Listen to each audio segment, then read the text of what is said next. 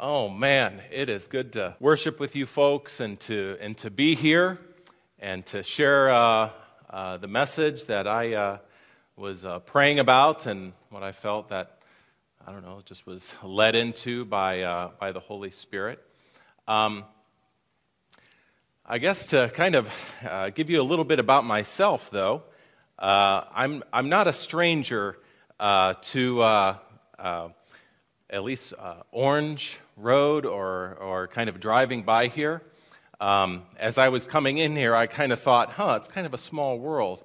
Uh, as I was going to Malone from uh, the years 99 to 2004, um, I used to work down the road there at uh, Volvo Truck Parts North America in Lewis Center for summer help. And they would hire you for 89 days because if you worked for 90 days, you were allowed in the union. So they're like they, they just kind of packed your stuff and were ready to, to get you out of there.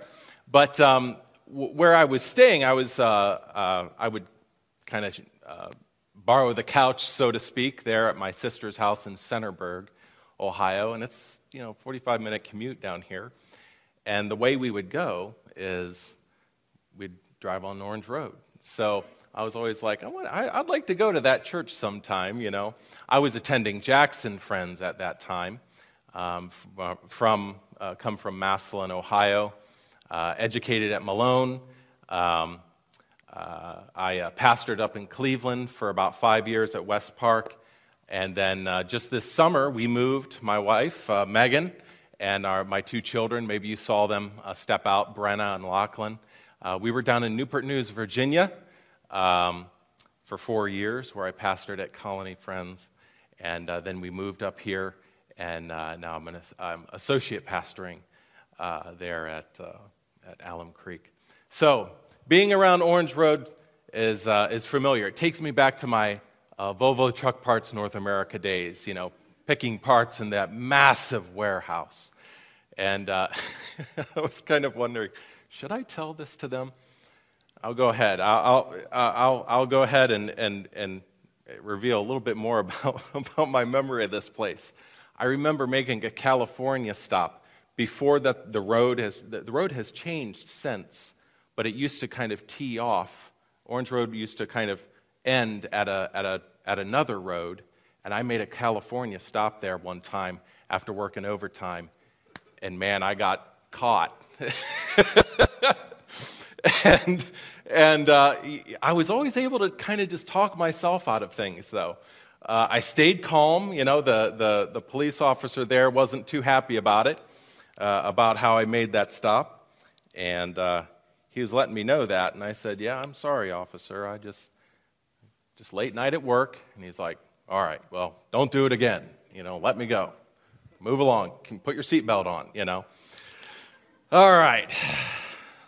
Hey, um, as I was uh, as I was thinking about um, just what to say, what to speak on, um, you know, I kind of had a I, I you always kind of start with your experience, and I think for the past oh year and a half, I've been kind of exploring and experiencing what it means to uh, uh, practice a life of discernment in terms of my relationship with Jesus.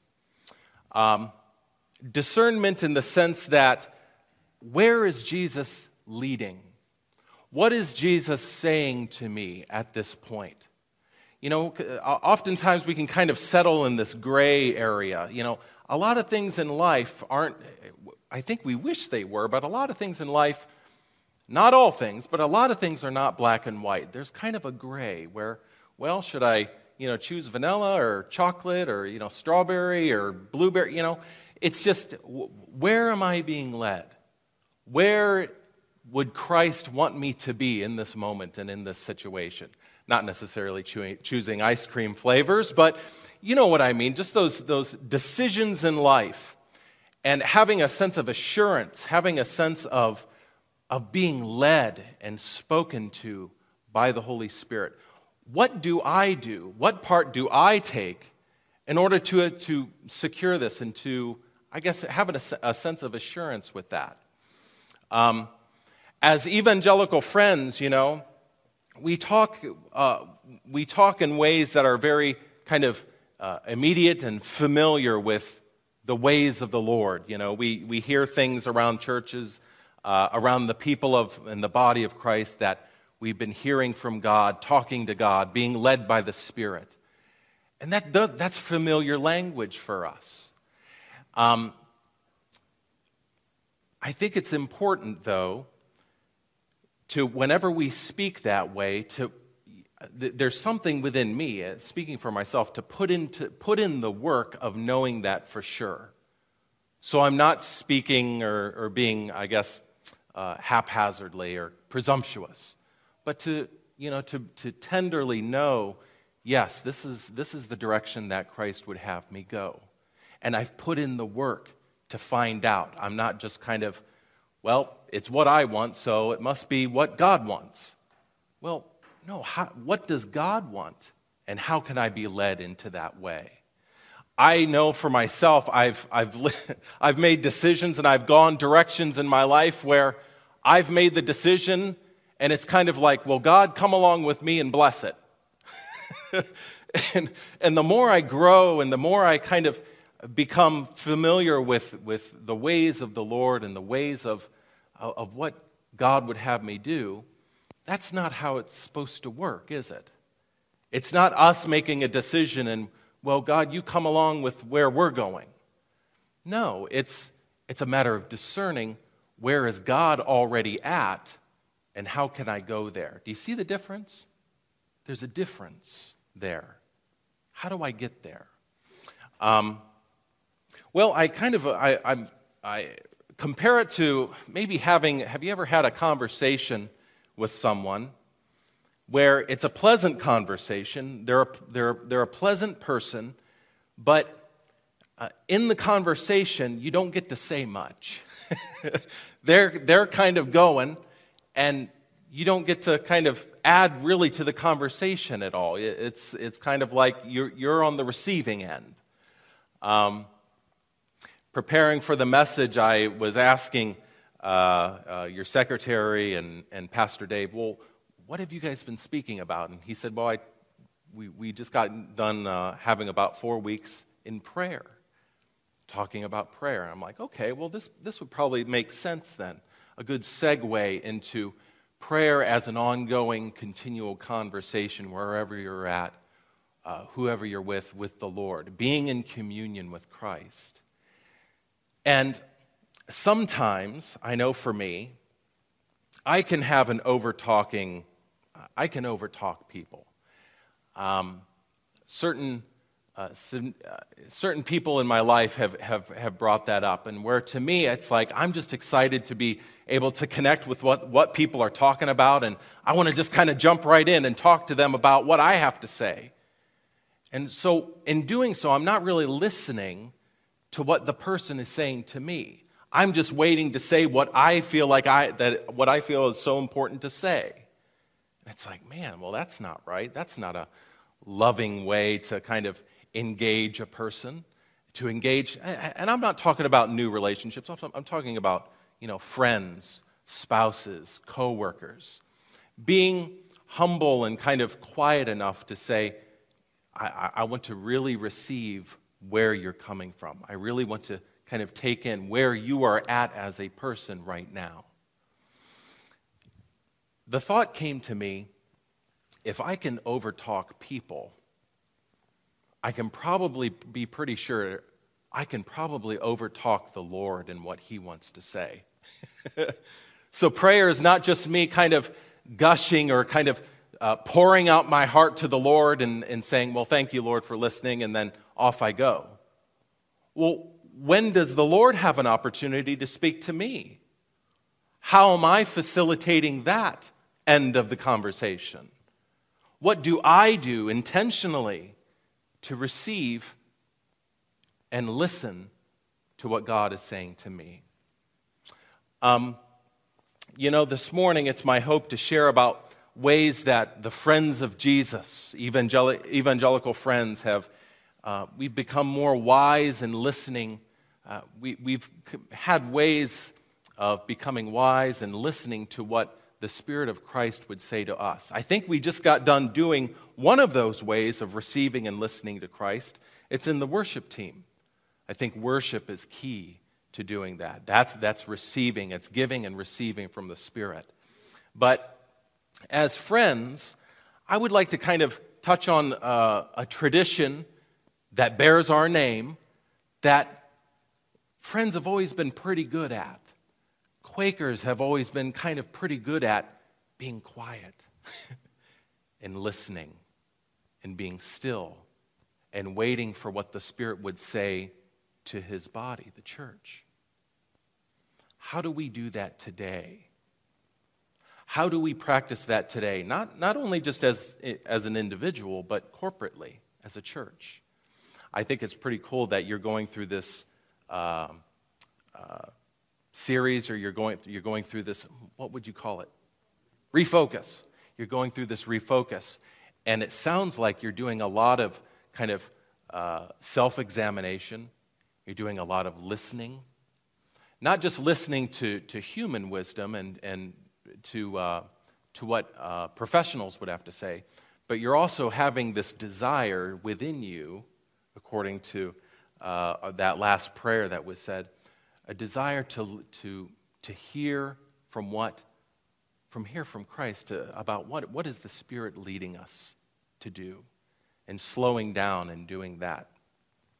Well, I want us to kind of let's let's first open up to uh, uh, if you have uh, your scripture, how in whatever format that may that may be. Uh, I wanted to open up with a reading here in the book of Ephesians, Ephesians chapter three, and here's a charge from Paul, where Paul he gives the, the Ephesian church the charge to. He sets out a vision he sets out his hope for the Ephesian church. And what we as a church are supposed to do is not necessarily remain the same. We're not supposed to remain infants, but we're to grow up. We're supposed to mature. We're supposed to develop and be transformed in Christ. That's the point. The point of the Christian life isn't to remain stagnant in the same and, well, I'll just kind of stay the same until, you know, kingdom come.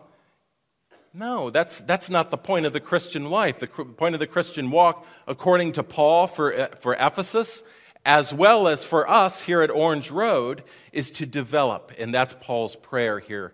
And starting in verse 14, I, I love Paul's vision. I love his kind of, oh, his heart for the church here. He says, For this reason I bow my knees before the Father. Notice it starts with prayer. From every from whom every family in heaven and on earth takes its name. I pray that according to the riches of his glory, he may grant that you may be strengthened in your inner being with power through his Spirit, and that Christ may dwell in your hearts through faith as you are being rooted and grounded in love. I pray that you have the power to comprehend with all the saints what is the breadth and the length and height and depth and to know the love of Christ that surpasses knowledge. Ooh. That's pretty heavy. To know the love of Christ that surpasses knowledge, so that you may be filled with all the fullness of God. You know, I think we can see our kind of our spiritual walk in the analogy of, of, a, of an iceberg. I have a, uh, I have a picture here on the, on the PowerPoint and kind of picture yourselves here as, picture your spiritual walk as kind of like, I don't know, I mean, I think there's, there's, there's things that we see within ourselves. There's things that we know about ourselves in our spiritual walk, kind of like this iceberg. We, well, we see the rest of it there, but if we were in a ship, we would only see that, that little part. And granted, that's a big part. I mean, that's a big hunk of ice there that you're looking at. But what we don't see is oftentimes these, that, that deep, long, and just kind of oblong shape of this iceberg that allows just whoop, a little bit to kind of peek through up there at the surface. I think this is a little bit like our lives in Christ. I think we see from the outside what we're kind of familiar with, what we, uh, what we deal with on a daily basis, our routines in life, our understanding of Christ, our understanding of redemption, of reconciliation with other people, of forgiveness. We have a concept, we have a working structure that we can see and that we can reference to throughout the week and throughout the months and throughout the years. But what about the rest of it? What about the other, the kind of the depths of Christ that have yet to be discovered, that have yet to be discerned within us and through us? Not that we're anything special, but because we are vessels, we are vessels and that we are the body of Christ in the most literal of senses.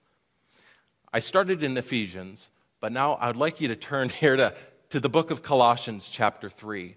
Because Paul, he, he says some pretty interesting and pretty heavy things that I would like us to kind of start exploring here. If the primary goal in our life is to understand the God life within us, if that's what we're going to be doing for eternity, I mean, think about it. We have claimed the salvation of Christ. We've, we have been kind of grafted into this salvation story, and Christ says that we, we will have eternal life. So we have an eternity to discover what and who God is like. That's what we're going to be doing for the vast majority of, of eternity, discovering the fullness of God. Oftentimes we think of ourselves as, as our job or as our vocation. Well, I'm a teacher, I'm a preacher, I'm a mother, I'm a nurse, I'm all of these things vocationally. We try to, di- we, we kind of slip into, oh, uh, uh, uh, defining ourselves that way. And yet, Paul, I think he wants us to define ourselves and to see ourselves in a broader way, a more eternal way and a more eternal aspect that we can look at here. I don't know about some of you, but um, I've done, I do some fishing every once in a while. Um, I've, uh, who here has done like perch fishing up in Lake Erie? Have you ever done that? Perch fishing or ever, ever be out on a boat and you see the captain there, he kind of has this, this little screen and it's a depth finder. And he keeps looking at it because he's looking for he's looking to see what's below him so that you can kind of pull up and get whatever what you've gone out to, to get and what you're looking for well in the same way i think if we uh, if we kind of develop and practice a uh, uh, we practice a sense of discernment and we develop this a a method of discernment that's a way of kind of pluming the depths of christ in you and in me in Colossians chapter 3, verse 1. It says this So if you've been raised with Christ, you, me, if we have been raised with Christ, seek the things that are above. Seek the things that are above, where Christ is, seated at the right hand of God. Set your minds on things that are above, not on things that are on earth, for you have died, and your life is hidden with Christ in God. When Christ, who is your life, is revealed, then you will also be revealed with him in glory. Man, I've read that many, many times. And it doesn't, it doesn't fail to kind of kind of take my breath away in a sense. Like, wow, I've always kind of seen the spiritual walk and my walk with Christ as, as something like, oh, I don't know, something a lot smaller than that. But what this does, whenever I read this, it kind of it expands my vision of what my relationship with Christ is. Paul here is talking about me being having died with Christ, having been raised with Christ, my life is hidden in Christ, and it's up to me to kind of find that out, to find my life in Christ. Okay, how do you do that? that? That's the next question that comes to my mind. And I think part of it, not, not the whole, I'm, I'm just giving, a, I want us to kind of have a tool to understand this. How do we engage this scripture? How do we kind of sink our teeth into this? Okay, Paul, if these things are true, what do you want me to do to, to kind of engage that, to connect the gear teeth so it, things start turning? There's a few things that we can do, and, and they're just they're plainly right there in the, into the text. Well, I already have it here on the bullet points. Number, we'll, we'll go through it, and then I'll kind of flesh out what I mean. Number one is an incarnational perspective. Kind of a big word. Incarnational perspective. Practicing deep listening. A practice of deep listening. And then newfound glory. A newfound glory. Number one, the first step, if we're to kind of discern the life of Jesus within our lives, if we're to kind of eh, have a spiritual depth finder to see, well, where is this life and death of Jesus being played out and animated within me? How do I find that? Well, number one, I think it's, we need to kind of shift our perspective. The first step in discerning Jesus in life is reminding ourselves of an incarnational perspectives, an incarnational perspective. Paul starts with reminding the Colossian church of who they are. Who are we? Not only whom we belong to, but he points to the union that we have with Christ. We are unified with him. There is a union. We are one with him, with his body, with his death, with his, re- with his resurrection, with his present working in the, eh, with, it, with and through the body of Christ. We have a union with that. And Paul wants the Colossian church to remember that. You know, as I read the book of Colossians, I, I was thinking, I wish I would have taken the four years, well, five years at, at Malone, four years of college and kind of worked through this, through this book because I think it's a good college age book. If you were to read a book when you were going to college and really dig into that and study that, I think the book of Colossians would help. Because the Colossians, in that context and in that way, they were struggling with, the, with some, some ideas that some teachers had come and were preaching and saying, well, following Jesus is a matter of grace and being accepted by Christ, but you also have to follow some rules. Don't touch that. Make sure you do this. Don't speak that way. Speak this way. It's a matter of these rules, too. And Paul, he kind of comes back on the scene and says, Colossians, Colossians, dismiss and put aside what, what these false teachers are telling you, and let's return to the truth and the, ma- re- truth and the matter of grace um, from which you have been called. You've been called by grace. You are one with Christ. You have a union with Him. You have a union with the passion of Jesus. And that's how you're supposed to see yourself. I don't know how many times that, well, or at least it's easy for me, but it's easy for me to kind of fall back into the my life perspective. Well, this is my life. This is my ministry. This is my job. This is my stuff. This is my, my, my, my, my. I, I can just, I slip right back into that thinking very kind of subtly and quickly. Paul says, you want to be careful doing that. You want to be mindful of who you are now one with. He calls us back to that rudimentary trust that we first had in Jesus. I remember why I came to Jesus when I was 18 years old in 1995. It was December. And I was to a point, I had been to a point for a while now, of realizing that it really wasn't my place to be the master of my destiny in life. There was, some, there was something wrong with that. I kind of had a, this, this crisis within me a crisis of, I, I, I need saved. Is there anyone out, out there that can save me from myself? And on that, uh, that one evening there in December 1995, I, like, you know, just very childlike and humbly came to the kingdom and said, Can I, knock, knock, knock, can I be let in? And I was let in and I was received by faith. Paul says, Don't go away from that. Actually, that's, that's your starting point. Grow into that.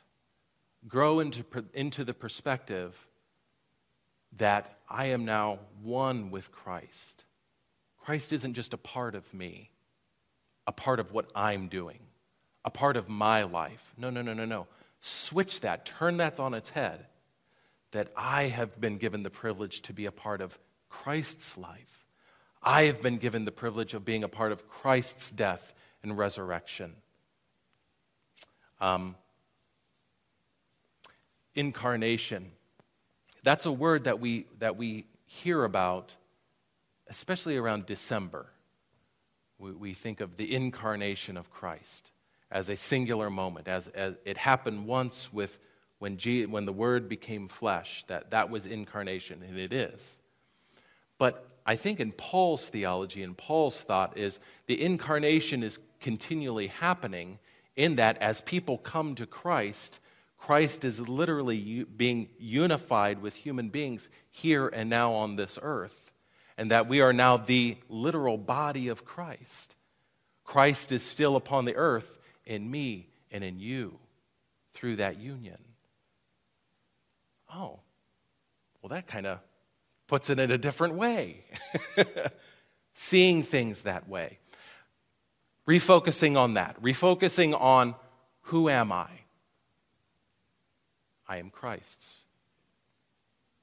I am living out what Christ has done.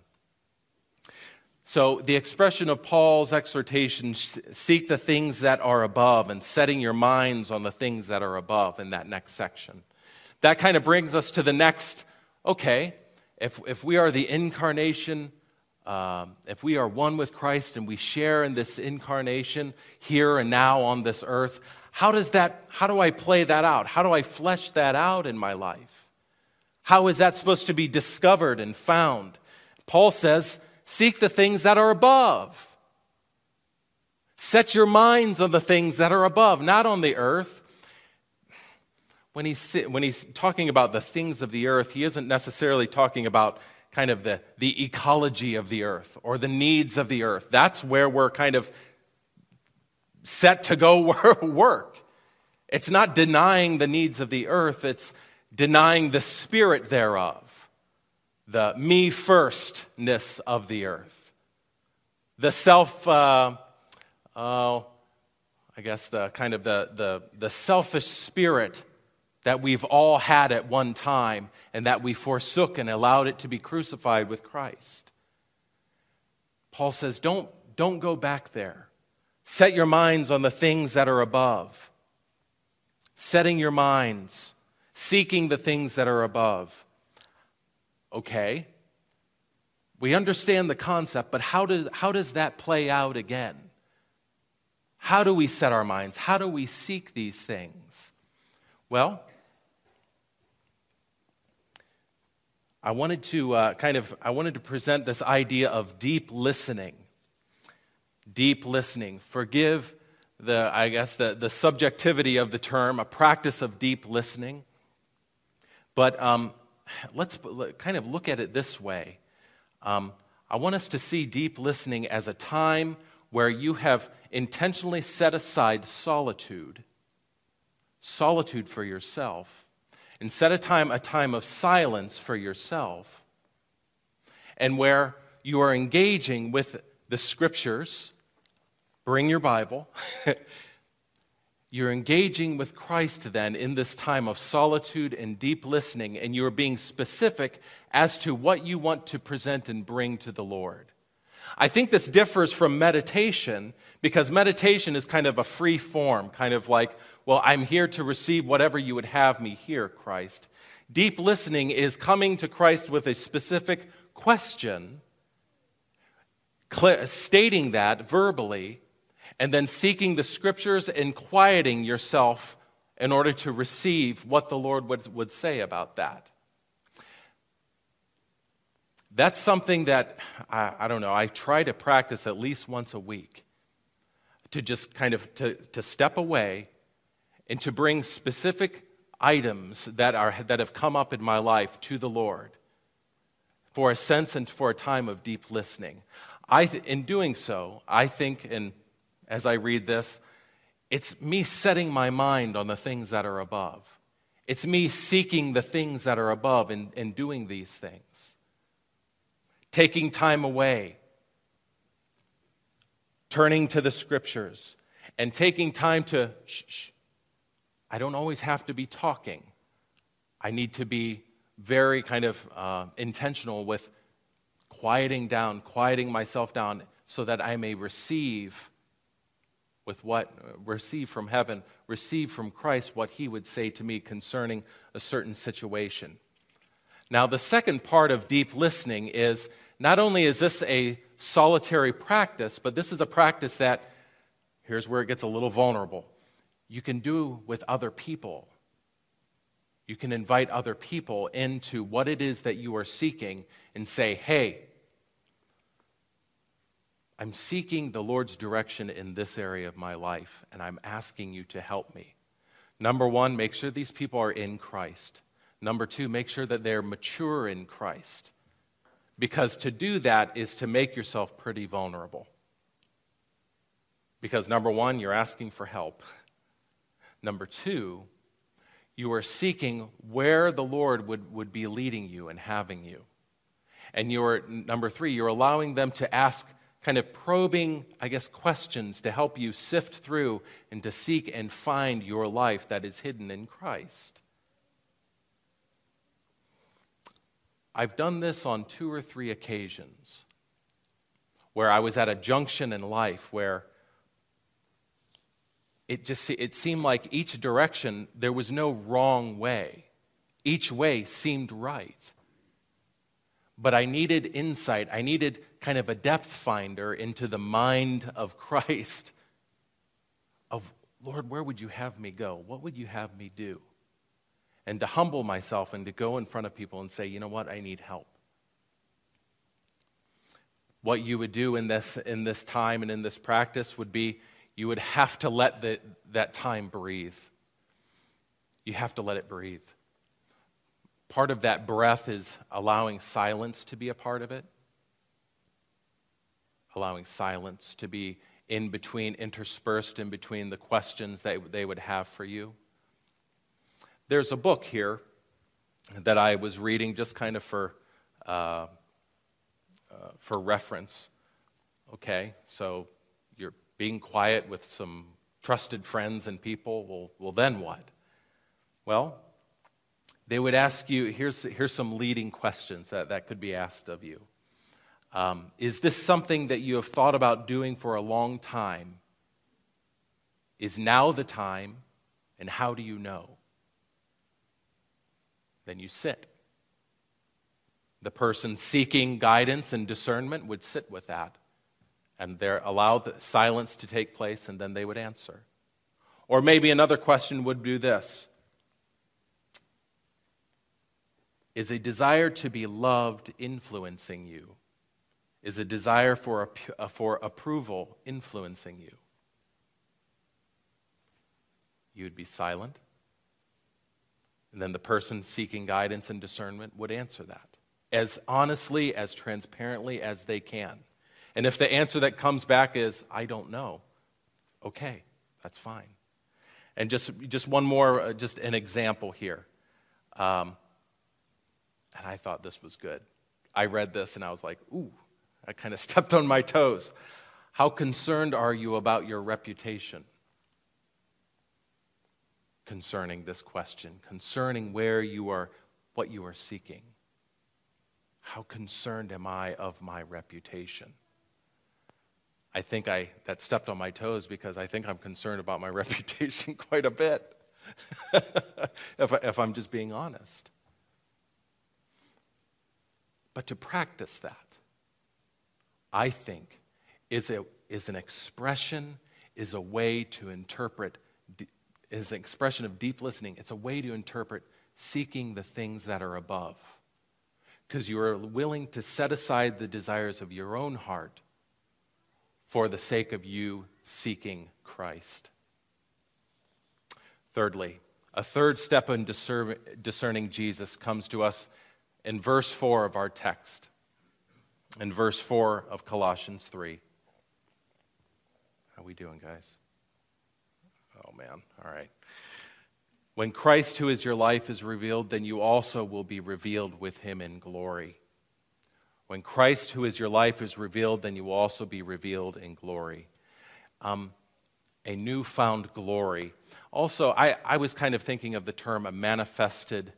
The, the term there for revealed is, is manifested. And whether Paul is talking about, is he talking about the, the second coming of Jesus? That's when our life will be revealed?